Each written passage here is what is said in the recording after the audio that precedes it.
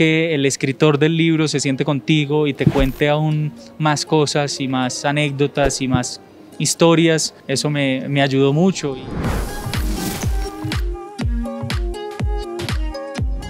Tengo que estar muy agradecido con Héctor Abad porque él fue muy generoso conmigo desde el principio, desde el momento que él se enteró que yo iba a interpretarlo a él. Entonces nos vimos en Medellín, en su, en su casa, pasé mucho tiempo con él, me mostró imágenes, videos, documentos, me habló mucho, me respondió todas las preguntas que yo tenía y hasta más. Me dijo todo, me contó, me contó secretos, me contó muchas anécdotas. Entonces eso me facilitó mucho el, al momento de interpretarlo a él y de, abordar las escenas. Ya con el libro uno tiene mucha información, pero ya además que el escritor del libro se siente contigo y te cuente aún más cosas y más anécdotas y más historias eh, y que te muestre material en imagen, en video, me facilitó mucho y además tenerlo presente en el set. Eso me, ayudó mucho y, siempre con una mirada muy, muy generosa, nunca lo, lo sentí con una mirada crítica ni, ni juzgando para nada.